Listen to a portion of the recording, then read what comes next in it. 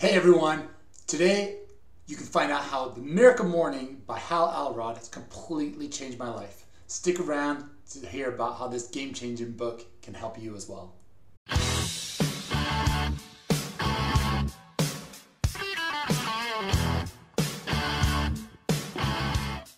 Hey, thanks so much for popping on here to find out more about how The Miracle Morning has completely changed my life in a lot of ways. So, let me just start by saying all you need to know from this book. Well, there's lots of a lot of useful information, but one of the things is the acronym SAVERS. S A V E R S. Okay, so I'm going to go into each one in the details, but S stands for silence, A stands for affirmations, V stands for visualization, E stands for exercise, R stands for reading, and S stands for scribing, for writing. Okay, so before I go into each one in detail and how these have helped me so much, I just wanted to let you know in the description below, we do have an incredible link to uh, my Facebook group where we go over so many amazing things of how you, as a high achiever, can achieve more multiple streams of income. Okay. Now, I, I used to find it a little bit tough sometimes to get going in during the day, right? But if you have a morning routine, it can help you so much if you get started the right way, get your mindset going the right way. And that's exactly what the miracle morning is. Now, the miracle morning, doing these six steps, you can do them actually. I do them in six minutes, okay? A little bit more sometimes, but you can you can also take up to maybe a couple hours. Actually, that's not true because I usually do exercise every day, and that exercise is anything between like an hour and a half to two hours. So it is not true. But I don't actually do my exercise in the morning. Then sometimes I do a little bit, like I jump around and so on, and try to get my blood flowing and so on. But and the majority of the time, I do focus on the other five things, okay? So, um, the S stands for silence. What I love to do in this one is I love to meditate for about a minute while listening to alpha binaural beats, okay? So there's, if you just go into YouTube, you put in alpha binaural beats, you'll be able to find essentially what it is is you're listening to something at different frequencies. I'd have to make a video of this sometime because it's so fascinating, all this stuff with binaural beats. But anyway, um, I find one and it instantly, instantly, when I put on, it's like this music in the background as well, these different beats. I instantly just start smiling and feeling good.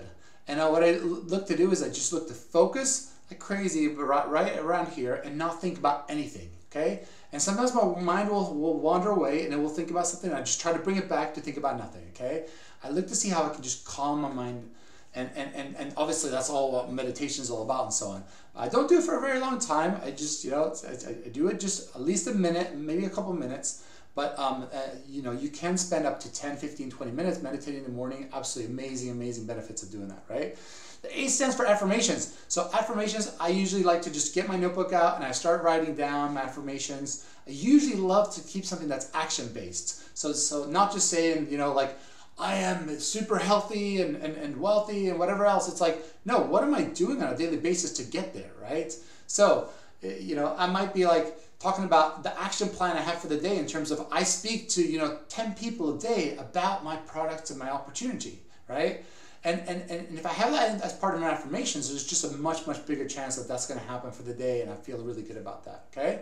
But affirmations is really about saying things before they've even kind of happened of where you want to see yourself, your personality, your habits, and all the different things, right?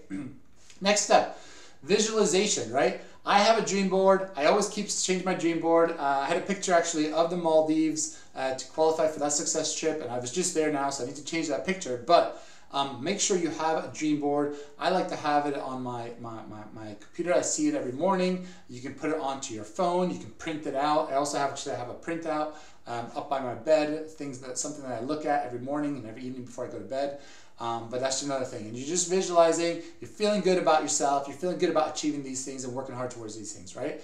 Next thing is E for exercise, okay? So that's the one I told you about. I do a lot of exercise, but make sure that you're making some kind of movement. You know, getting your blood flowing. It's so so important. You're gonna be make you're gonna feel good by just jumping up and down for like a minute or dancing or whatever you want to do. You know, whatever's gonna make you feel good with exercise, right? Next thing is reading. I look to read something positive, some kind of personal development book or something that's that's gonna make me feel good. And I, and I, like I said, I only do that maybe a minute, two minutes, three minutes. Okay course, usually on a daily basis, I do a little bit more than that. I usually like to read a little bit before I go to bed, something inspiring, it's a story about a, a biography or autobiography or something like that. Whatever it is that's going to inspire you to, to kind of you know, go out there and dream bigger and think bigger and do more things in your life, right?